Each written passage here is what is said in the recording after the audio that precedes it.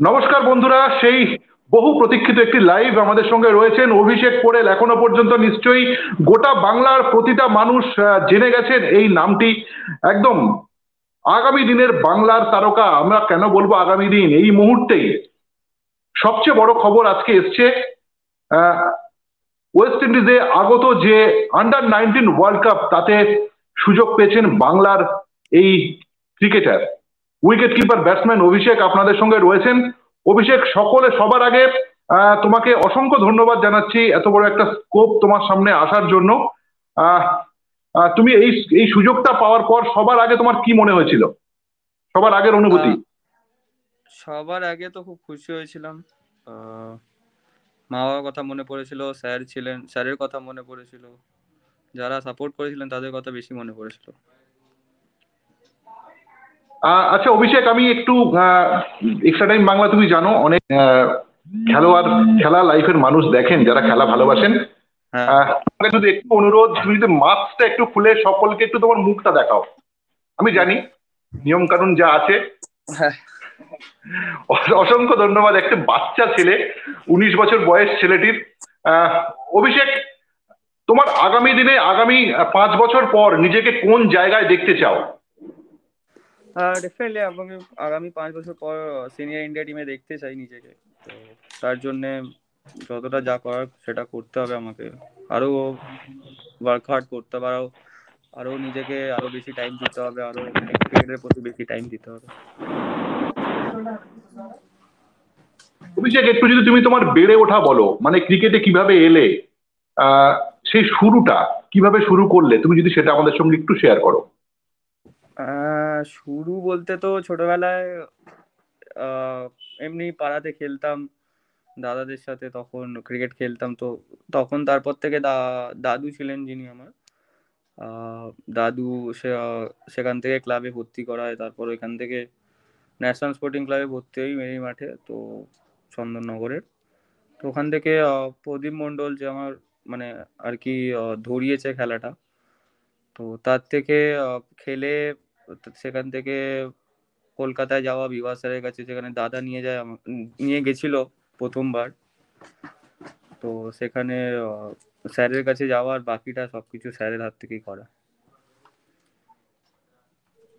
আরেকটি বিষয় আমরা জেনেছি যে তুমি ব্যাটিং, তার সঙ্গে উইকেট কিপিং এই দুটোতে একই সঙ্গে একই লেভেলে কনসেন্ট্রেট করো। আমি বলছি না কোনটা তোমার বেশি পছন্দের। তোমার প্রিয় ক্রিকেটার কে? প্রিয় cricketer Adam Gilchrist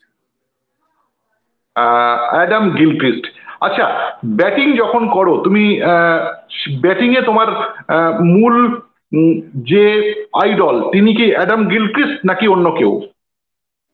অ্যাডাম গিলক্রিস্টকে ভালো লাগে বাট ব্র্যান্ড লারা অবশ্যই। আচ্ছা আরেকটি কথা, বাংলার ক্রিকেটে সৌরভ গঙ্গোপাধ্যায় একটা বিশাল বড় নাম। এই সৌরভ গাঙ্গুলি তোমার জীবনে ফুট, ক্রিকেটার জীবনে বেড়ে ওঠার ক্ষেত্রে এই নামটি কতটা ইন্সপায়ারিং আরেকটি বিষয় তুমি কোন কোন ক্রিকেটারের ফোন পেয়েছ এখনও পর্যন্ত? শুভেচ্ছা বার্তা পেয়েছ। শুভেচ্ছা তো রঞ্জি টিমের সবাই কংগ্রাচুলেশন জানিয়েছে। যেহেতু আজকে প্র্যাকটিসে ছিলাম, তারপরে সবাই গ্রুপের ওখানে সবাই টেক্সট করে জানিয়েছে কংগ্রাচুলেশন সকালবেলা দাদা বলে কংগ্রাচুলেশন কিছু বলেছে। তো আর যারা যারা এনজি টিমে ছিল সবাইকার থেকেই কংগ্রাচুলেশন পেয়েছি। হ্যাঁ যে প্রশ্নটি প্রথমে করেছিলাম সৌরভ গাঙ্গুলির নামটি তোমার কাছে কতটি কতটা ইন্সপায়ারিং সৌরভ গাঙ্গুলি বলতে তো মানে হোল ইন্ডিয়াতে হোল ওয়ার্ল্ডে সবাই চেনে ওই নামটা। তো ইন্সপায়ারিং তো বটেই তার কভার ড্রাইভ দেখে তার স্টান্স লেফটি ব্যাটসম্যান অ্যাগ্রেসিভ তো সব কিছুই দিক দিয়ে একটা ইন্সপায়ারিং তো থাকেই, থেকেই যায়। তাও, তারপরে আমাদের বাঙালি আর কি। সেটা সব থেকে বড় কথা। যিনি বেঙ্গল থেকে গিয়ে পুরো হোল্ড হোল ওয়ার্ল্ড ডমিনেট করেছেন একটা টাইমে তো ডেফিনেটলি অবশ্যই একটু অন্য বিষয়ে আলোচনা করি। পড়াশোনাটা কোথায় করছ, কীভাবে করছ? এখন নিশ্চয়ই লকডাউন ইত্যাদি ইত্যাদি সমস্যা। তাও তোমার যদি এডুকেশনাল লাইফটা একটু ছোট করে বলো। এডুকেশন ছোটবেলায় সেন্ট থমাস স্কুলে পড়েছিলাম। দেন ওইখান থেকে ওখানে অ্যাকচুয়ালি ফোর অব্দি পড়া যেত। তারপরে ওখান থেকে চন্দ্রনগর কায়রাল বিদ্যা মন্দিরে পড়ি। দেন তারপরে মাধ্যমিক পাসটা ওপেন থেকেই করতে হয়েছে বিকজ অফ ক্রিকেটের জন্য। বোর্ড ম্যাচেস থাকতো তখন। তো তখন তো মাধ্যমিক দেওয়া গেছিল যায়নি। তো ওপেন থেকেই মাধ্যমিক দেওয়া হয়েছে। আপাতত আমি মাধ্যমিক পাস আর কি বিষয়, সেটা হচ্ছে সামনে world cup under nineteen world cup এই আন্ডার নাইনটিন ওয়ার্ল্ড কাপ কিন্তু অনেক তারকার জন্ম দিয়েছে।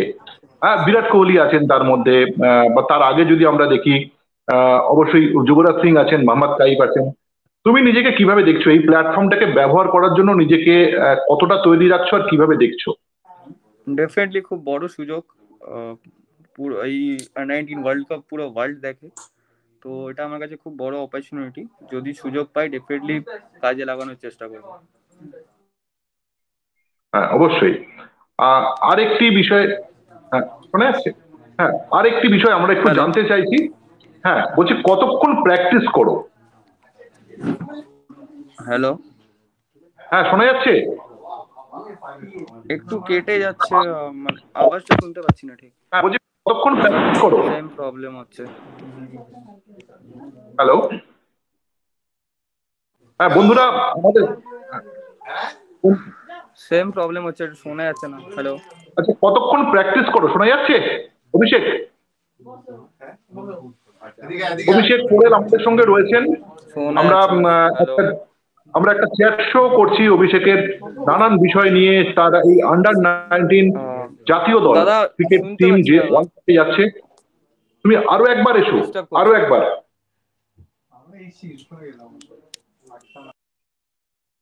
হ্যাঁ অভিষেক আবার আসছেন আমাদের সঙ্গে। আমরা আইএসএল ল্যাঙ্গুয়েজে কথা বলার চেষ্টা করলাম। যাই হোক আপনারা শুনছিলেন অবশ্যই খুব বাকপটু নয় না হওয়াটাই স্বাভাবিক কেননা ক্রিকেট খেলতেই তার এত বড় একটা স্কোপ আমরা জানি আমি শ্রীবৎস গোস্বামী যখন চ্যাম্পিয়ন হয়ে এসেছিল সেই বিরাট কোহলি ক্যাপ্টেন ছিলেন। সেই দলটার আসার পর হাওড়াতে তার বাড়িতে এক্সট্রা টাইম বাংলার পক্ষ থেকেই গেছিলাম। শ্রীবৎস গোস্বামীও কিন্তু উইকেট কিপিং উইকেট কিপার আর ব্যাটসম্যান ছিলেন।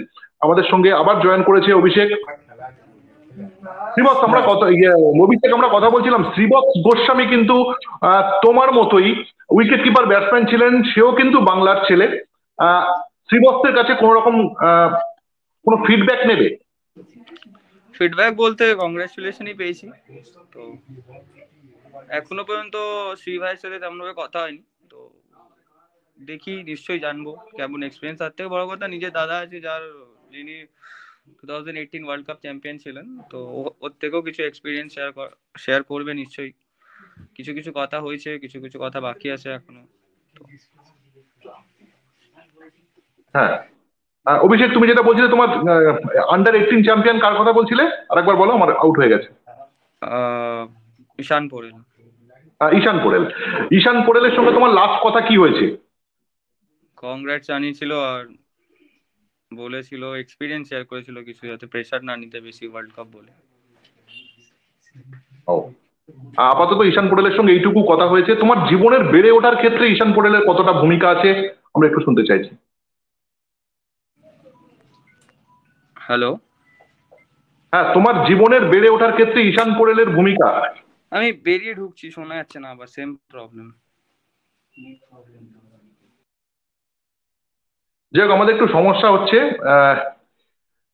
বন্ধুরা আপনারা বুঝতেই পাচ্ছেন একটু সমস্যা হচ্ছে দূর থেকে আসলে কথা হচ্ছে। আমাদের সঙ্গে রয়েছেন অভিষেক পোড়েল। অভিষেক পোড়েল কিন্তু বাংলার ক্রিকেটে এবং ভারতীয় ক্রিকেটে আগামী দিনের তারকা হয়ে ওঠার সমূহ সম্ভাবনা কেননা আন্ডার নাইনটিন ওয়ার্ল্ড কাপে সে কিন্তু সুযোগ পেয়েছে। ঈশান পোড়েলের ভূমিকা তোমার জীবনে কতটা? ঈশান পোড়েলের ভূমিকা তোমার জীবনে কতটা? ভূমিকা বলতে যখনই কোনো বড় স্টেজে গেছি হেল্প করেছে অনেক। তো কোনো জায়গায় গেলে নিশ্চয়ই হেল্প করেন। আচ্ছা অভিষেক কতটা কতটা প্র্যাকটিস করো? দিনে কতক্ষণ প্র্যাকটিস করো? প্র্যাকটিস তো যেখানেই পাই সেখানেই ব্যাট করতে ইচ্ছা করে। প্র্যাকটিস লকডাউনে অনেক বেশি অ্যাটলিস্ট তো ছ সাত ঘণ্টা প্র্যাকটিস করতাম দুবেলা মিলিয়ে। অসংখ্য ধন্যবাদ অভিষেক। আমরা খুব বেশি ডিস্টার্ব করব না। তোমার কিছু এক্সপিরিয়েন্স আমরা শেয়ার করলাম। আমরা চেষ্টা আমরা আশা করব অবশ্যই আগামী দিন তোমার জন্য উজ্জ্বল হয়ে উঠুক। এবং তুমি কবে বেরোচ্ছ? যাচ্ছ কবে? ক্যাম্পে কবে যাচ্ছ? যাওয়া রোববার দিনকে মানে পরশু দিনই তুমি বেরিয়ে যাচ্ছ। যাই হোক তোমার যাত্রা শুভ হোক এবং একটা ভালো ভবিষ্যৎ তোমার জন্য অপেক্ষা করুক এবং আমাদের জন্য। আমরা যারা লিখি, আমরা যারা বলি, আমরাও তারকা খুঁজি। আমরাও চাই যে তুমি ভবিষ্যতের তারকা হয়েই ফেরো। অসংখ্য ধন্যবাদ অভিষেক আমাদের এই ছোট্ট লাইভটিতে আমাদের সঙ্গে অংশগ্রহণ করার জন্য। বন্ধুরা, সকলের পক্ষ থেকে অভিষেকের একটা সুন্দর জীবন কামনা থাকল। ভিডিওটি ভালো লাগলে অবশ্যই লাইক শেয়ার করবেন। এক্সট্রা টাইম বাংলাকে সাবস্ক্রাইব করতে ভুলবেন না। নমস্কার সঙ্গে থাকার জন্য। Thank you thank you thank you